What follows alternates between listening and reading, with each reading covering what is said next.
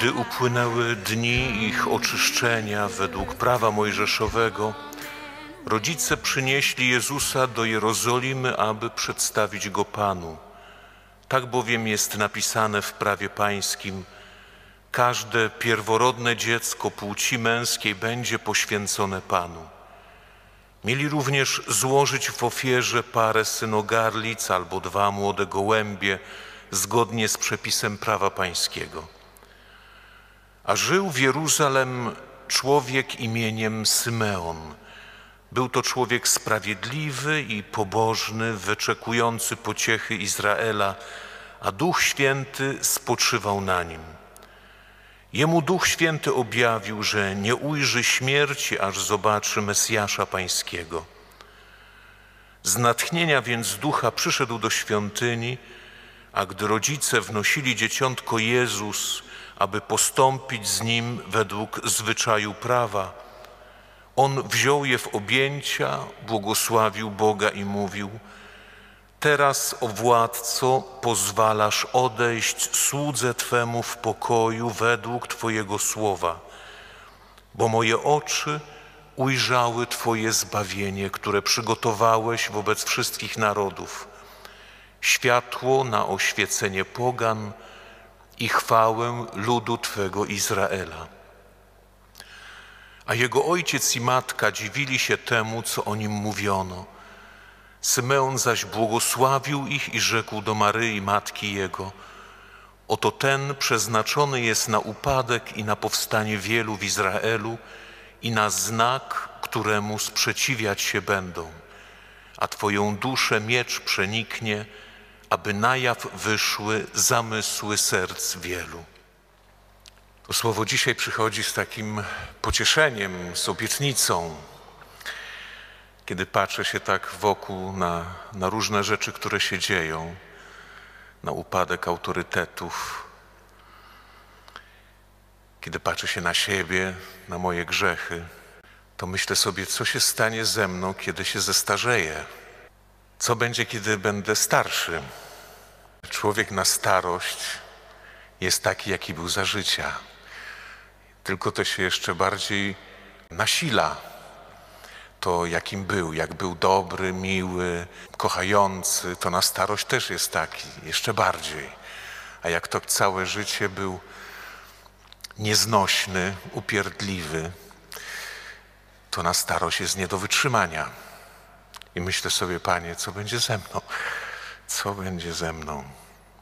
I dzisiaj w tym słowie przychodzi taka obietnica, że nie jestem, nie jestem zdany na, na te moje grzechy, że Pan Bóg przychodzi ze swoją obietnicą, że Duch Święty przyszedł z obietnicą do mojego życia, że nie umrę, dopóki nie zobaczę e, Syna Bożego, nie zobaczę Mesjasza, który wkracza w moje życie, który zmienia wszystko, że nie jestem skazany na to, żeby zestarzeć się w moich grzechach.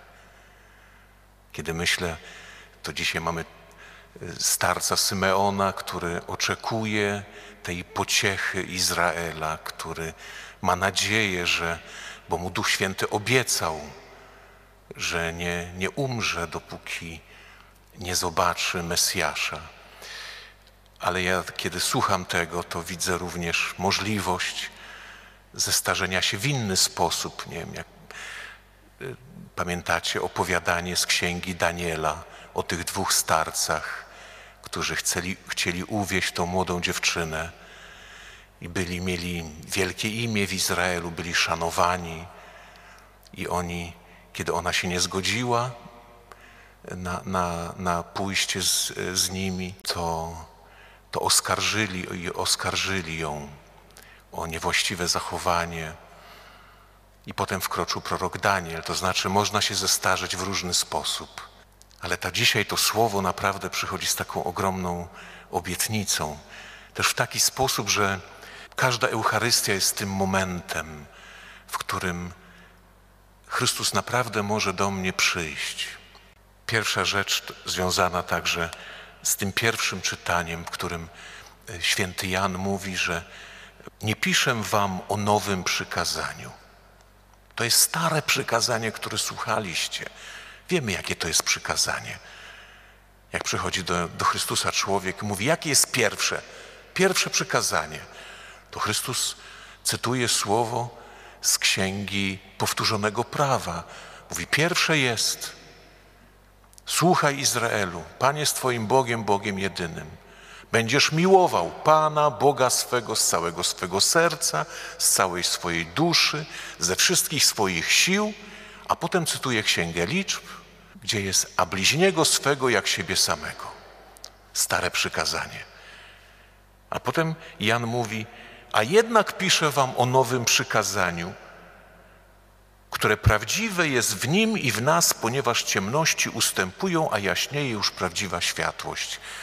Chrystus też, pamiętacie, przed swoją śmiercią w czasie ostatniej wieczerzy mówił, że nowe przykazanie wam daję, abyście się wzajemnie miłowali, jak ja was umiłowałem. Stare przykazanie, które staje się nowym przykazaniem. Dlaczego? Dlatego, że z przyjściem Chrystusa ono staje się realnie możliwe. To znaczy możliwe jest z przyjściem Chrystusa, kiedy On wkroczy do mojego wnętrza, kiedy zacznie królować w moim wnętrzu, przemieniać je, może sprawić, że realnie będzie możliwe kochać Boga właśnie w taki sposób sercem niepodzielonym, kochać Boga w ten sposób, że jestem gotowy dawać swoje życie, umierać, bo tak jest interpretowane całą duszą. To znaczy, nawet jeżeli Bóg będzie żądał Twojej duszy od Ciebie, kochać Go, bo wszystkie drogi Pana są pełne, pełne Jego łaski i wierności. Będę błogosławił Boga w nocy kiedy wydaje się, że wszystko mnie atakuje, kiedy nie mam żadnej pomocy, kiedy jest cierpienie, kiedy jest y, zagrożenie mojego życia, że to jest realnie możliwe, prawda? I ze wszystkich sił, ze wszystkich sił, czyli całym tym wszystkim, co mam, tym wszystkim, co potrafię, nie zatrzymując niczego dla siebie. A druga rzecz, kochać bliźniego jak siebie samego, to znaczy wejść w zupełnie inną logikę wchodzenia w relacje z drugim człowiekiem. To jest to nowe przykazanie, abyście się wzajemnie miłowali, jak ja was umiłowałem. I to jest, to staje się realnie możliwe na każdej Eucharystii, bo na każdej Eucharystii Chrystus chce wkroczyć w nasze życie. Na każdej Eucharystii przychodzimy jak ten starzec Symeon, bo może zestarzeliśmy się. Można być młodym i być starym, pozbawionym nadziei, kiedy są zdruzgotane relacje w małżeństwie albo z dziećmi, albo kiedy przychodzą różnego rodzaju choroby, to człowiek wtedy czuje się staro, to znaczy pozbawiony nadziei na życie.